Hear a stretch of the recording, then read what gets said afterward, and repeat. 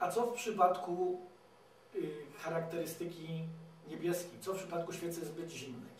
Otóż y, niebezpieczeństwo, jakie może wystąpić, jest pokazane po prawej stronie na zdjęciu, czyli pełne zanieczyszczenie stożka izolatora osadami, które to umożliwiają przeskok iskry po powierzchni izolatora do masy wewnątrz, co, spowoduje, co z kolei skutkuje brakiem zapłonu w komorze spalania i wypadaniem zapłonów. Czyli tak jak widzimy na wykresie, praktycznie do 50% obciążenia silnika taka świeca nie miałaby szans na osiągnięcie temperatury gwarantującej samooczyszczanie. Czyli taka świeca, mimo że jest bezpieczna dla silnika ze względu na niebezpieczeństwo przegrzania komory spalania, niestety nie ma właściwości samooczyszczających w obciążeniach mniejszych niż 50%, a przecież w czasie normalnej jazdy bardzo często właśnie korzystamy z naszych samochodów, z silników w tym zakresie.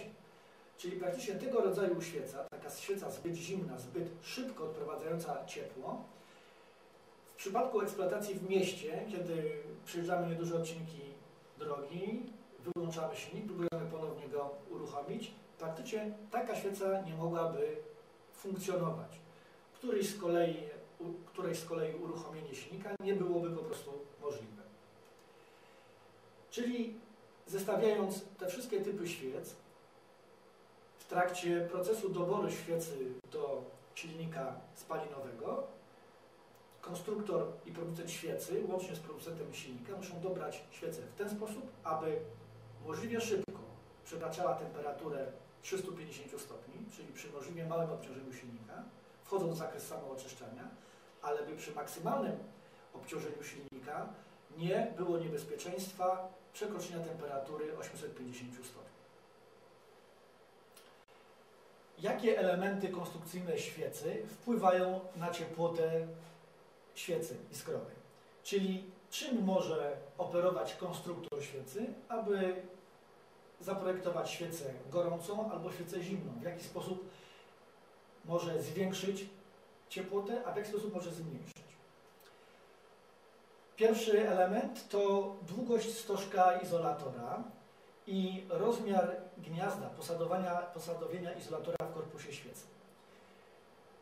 Na slajdzie zaznaczone są te właśnie dwa elementy, czyli stożek izolatora i ta długość, od tej długości zależy ciepłota świecy.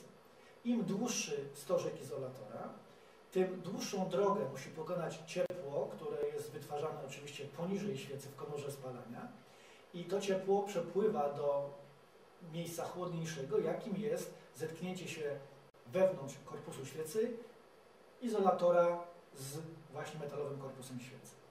Odprowadzanie ciepła następuje przez oczywiście części metalowe świecy wkręcone w głowicę, czyli przez gwint i podkładkę.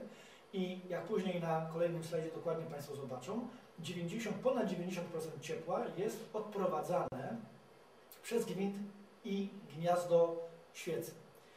Około 10, około 9% ciepła jest oddawane do atmosfery przez izolator, ten, który znajduje się ponad y, silnikiem, ten, ten, ten, przez izolator zewnętrzny.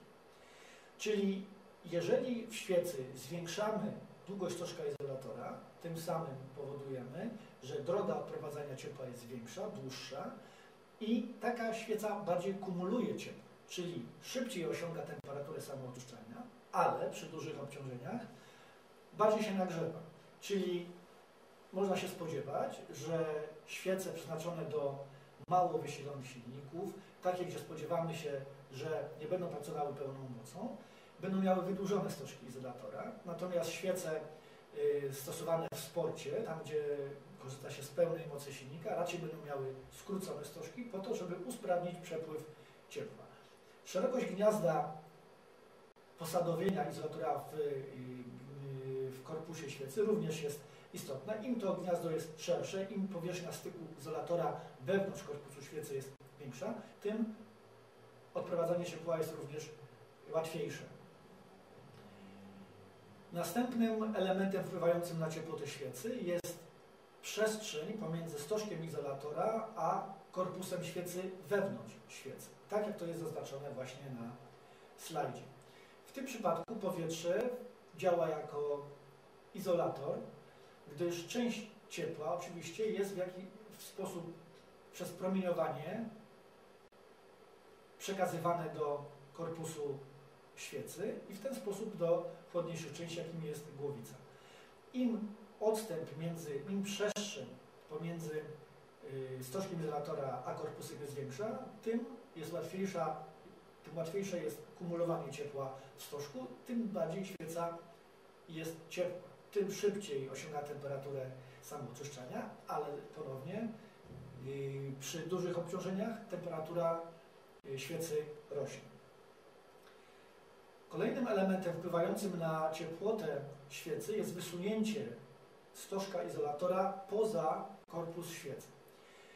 Tutaj następuje takie zjawisko, które wynika y, nie z samego przepływu ciepła przez świecę, jak w przypadku poprzednich dwóch y, elementów konstrukcyjnych, ale oddziaływania napływającej mieszanki z, wystającą, y, z wystającym elementem świecy. Otóż jest to takie zjawisko polegające na schładzaniu końcówki świecy przez chłodną mieszankę paliwowo-powietrzną, która napływa do cylindra i ten efekt rośnie ze wzrostem obciążenia silnika, czyli ze wzrostem choćby prędkości obrotowej, dlatego że wtedy prędkości przepływu gazów, czyli właśnie mieszanki paliwowo-powietrznej jest większa ta prędkość.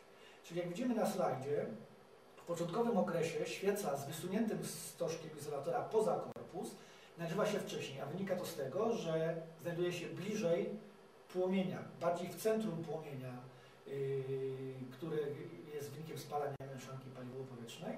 Natomiast ze wzrostem prędkości obrotowej obciążenia, kiedy prędkości przepływu gazu są yy, większe, następuje wyraźny efekt schładzania tej części wystającej świecy, co widzimy na wykresie przez obniżenie temperatury w stosunku do świecy oznaczonej kolorem czerwonym, gdzie ten wzrost temperatury rośnie.